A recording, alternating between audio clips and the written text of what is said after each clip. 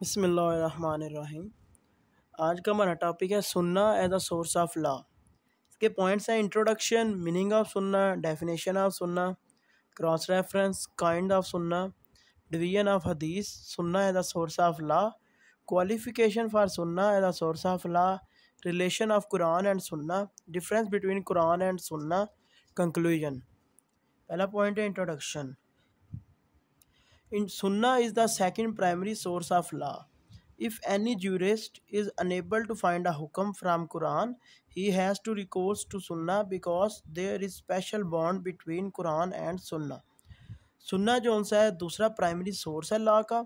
If any jurist अगर कोई jurist Quran से डायरेक्ट हुक्म नहीं ढूंढ पाता तो फिर वो सुन्ना की तरफ़ देखता है, क्योंकि स्पेशल इधर एक स्पेशल बॉन्ड है कुरान और सुन्ना का। Sunnah is explanation of holy Quran. सुन्नत जो सी है, होली कुरान की एक्सप्लेनेशन है। Without Sunnah it is very difficult to understand the general rule of Islamic law बगैर सुन्नत के, ये बहुत मुश्किल है कि हम इस्लामिक लॉ के कवानीन को समझ सकें। लेट डाउन इन कुरान, जो कि कुरान में वाजे हैं। कुरान में बयां किए गए हैं, सुन्नत के बगैर हम उन्हें समझ नहीं सकते। क्रॉस रेफरेंस है article 227 of constitution of Pakistan 1973 meaning of Sunnah Sunnah means well known path is being which is being followed again and again सुन्ना का मतलब है अच्छा जानने वाला रास्ता, जिसको लोग फॉलो करते आ रहे हो अगेन एंड अगेन जिसको लोग फॉलो करें। Definition of Sunnah Sunnah are the sayings acts and approval of holy prophet Sunnah basically इसकी डेफिनेशन हम यूँ करेंगे कि सुन्ना जो सी है, नबी पाक के इर्शादात नबी पाक के काम और नबी पाक ने जिन चीज़ों से, जिनको अप्रूव किया हो, कि भाई जिस चीज़ से मना ना फरमाया हो, हुक्म दिया हो, या जिस बात से कहा हो कि हाँ जी आप ये कर सकते हो, इसे हम सुन्ना कहते हैं। Kinds of Sunnah it has three kinds Sunnah अलकोलिया coal These are sayings or narrations of Holy Prophet, peace be upon him, sallallahu alaihi wasallam. The main object of Sunnah is to explanation. सुन्ना अलकोलिया मतलब कि जौन सी बातें जौन से इर्शादात नबी पाक सल्लल्लाहु अलैहि वसल्लम ने अपनी ज़िंदगी में किए नहीं हैं लेकिन अपनी ज़ुबान से बयान फरमाए हैं हुक्म दिया है जिन चीज़ों का और एक्सप्लेनेशन की है जिन अहकाम्स की उसे हम सुन्ना अलकोलिया कहते हैं सुन्ना अल्फालिया फिलिया अमल fail these are the deeds and practice of holy prophet वसल्लम as his prayer fast etcetera मतलब जोन से अमाल नबी पाक सल्लल्लाहु अलैहि वसल्लम ने अपनी ज़िंदगी में अदा किए, जैसे कि नमाज़, रोज़ा, इस तरह की चीज़ें जो सी नबी पाक ने करके दिखाई अपनी ज़िंदगी में, वो भी सुन्नत है, सुन्ना अलफिलिया में उसे शुमार किया जाता है। Sunnah al-Taqririyah, these are the commission of certain acts by words or deeds of Holy Prophet. If something was done in a particular way and Prophet maintained silence without expressing disapproval to it, his silence in such a case is called takrir or take it approval and considered a sunnah. कोई ऐसा काम जो नबी पाक सल्लल्लाहु अलैहि वसल्लम के सामने किया गया हो और नबी पाक उसके बारे में कुछ फरमाए ना या उस काम से रोके ना तो इस का ऐसे काम को भी सुन्नत शुमार किया जाएगा क्योंकि उसमें नबी पाक ने रोका नहीं है मतलब मना नहीं किया तो इसका मतलब यह है कि वो काम जायज़ है डिवीज़न ऑफ़ हदीस हदीस की with respect to narration hadith is divided into two types hadith मुतासिल हदीस Mursal Hadith Mutasil, the Hadith whose chain of narration is complete and no narrator is missing up to Holy Prophet, peace be upon him. ऐसी अहादीस जिनके narrator's की chain जो सी है मुकम्मल हो उनमें से जितने भी सहाबा कराम ने हदीस बताई हो बयान की गई हो उन सब के रावी जो से हदीस के वो मुकम्मल हों। ये ना हो कि ये रावी का पता कोई नहीं है, या ये रावी कि अदीस अथेंटिक नहीं बताता, या इस तरह की बात हो, ऐसे बात नहीं है। हदीस मुतासिल वो हदीस होती हैं, जिनके रावी सारे मुकम्मल होते हैं, जो पहुँचाने वाले मुकम्मल हैं। टाइप्स ऑफ़ हदीस मुतासिल मुतासिल की टाइप्स हैं आगे हदीस मुतासिल की। हदीस मुतवातिर when all narrator reporting is with same words मतलब जब जितने भी नरेटर्स हैं आदिश बयान करने वाले सेम वर्ड्स इस्तेमाल करेंगे बगैर किसी डिफरेंस के, इस ऐसी अदीस को हम हदीस मुतवा कहते हैं। तवातुर लफ्ज़ी when all narrators of hadith agree on words it is called तवातुर लफ्ज़ जब वो सारे एक अल्फाज पे एक लफ्ज़ के ऊपर, जो अल्फाज का मतलब है, उसके ऊपर एग्री करेंगे तो इसका मतलब ये है कि भाई तवातुर लफ्ज़ी है।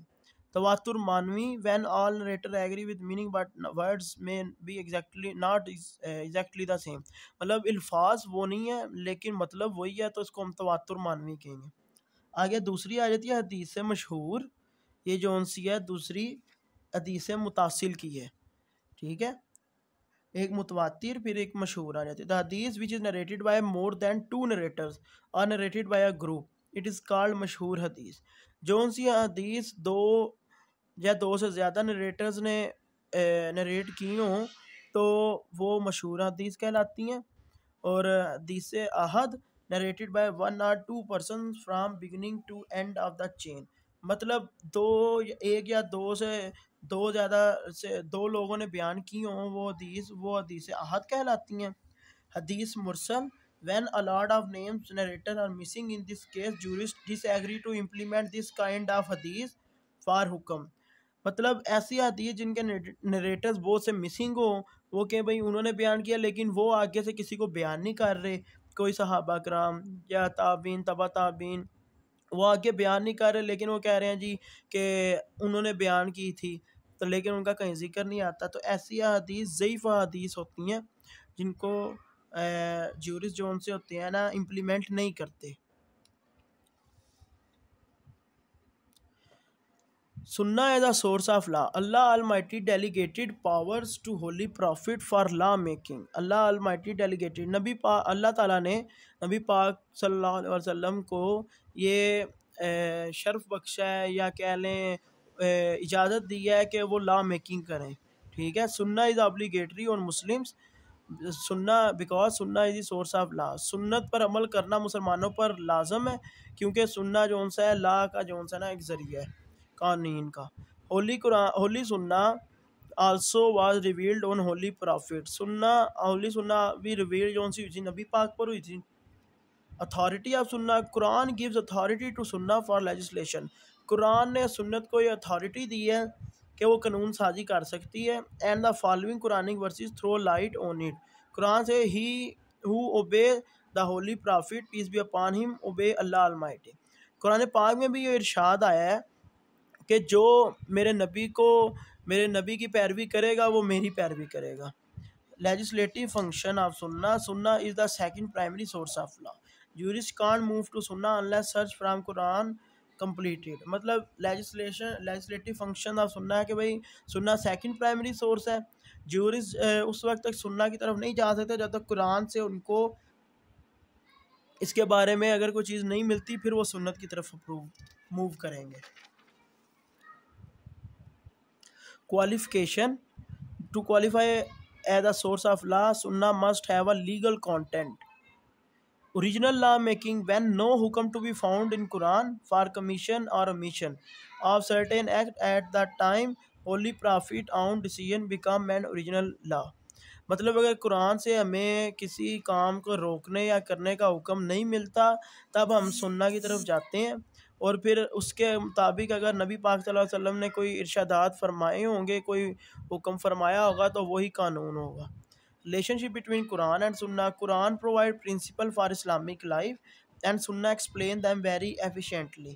Relationship है कुरान और सुन्ना के अभी कुरान प्रिंसिपल्स जो उनसे हैं ज़िंदगी के लिए, इस्लामी ज़िंदगी के लिए बयान करता है और सुन्ना जो उनसे है, उसकी एक्सप्लेनेशन करती है explanation of implicit some Quranic verses are unclear but Sunnah make them clear कुछ आयात ऐसी हैं जो क्लियर नहीं है, लेकिन सुन्नत की वजह से नबी पाक ने अपनी सुन्नत के ज़रिए उनको क्लियर कर दिया ताकि वाज कर दिया एलेबोरेशन ऑफ़ अहकाम अहकाम in Quran are unelaborated सुन्ना एक्सप्लेन दीज अहकाम्स मतलब यह है कि भाई कुछ अहकाम कुरान में ऐसे आए हैं जो वाज नहीं थे, लेकिन सुनने के, सुनना, सुन्नत ने मदद से वो वाज हो गए जैसे कि कुरान ने नमाज़ का हुक्म दिया, लेकिन सुन्नत के ज़रिए नबी पाक ने हमें नमाज़ पढ़ने का वक्त, रकात, नमाज़ का तरीका सब कुछ बयान किया।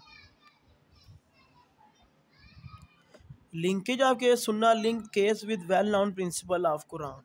Relation of quran and sunnah sunnah is the most mode of interpretation and elaboration of quran sunnah does not go against quran and quran does not go against sunnah difference between sunnah and hadith meaning of both are approximately same as to meaning hadith means saying of holy prophet sunnah means every act of holy prophet hadith वो होती हैं जो नबी पाक ने बयान की होती हैं सुन्नत वो होती है जो नबी पाक ने करके दिखाई होती है as to scope hadith is narrow in scope because it is only sayings of holy prophet sunnah is bigger in scope हदीस का स्कोप जो है नैरो है क्योंकि नबी पाक ने वो बयान फरमाइयाँ की नहीं है और सुन्नत है जो सी वो नबी पाक ने करके दिखाई हैं तो उसका स्कोप जो सा थोड़ा बिगर है As to element, this is one element of Sunnah. Sunnah is complete term which has three elements.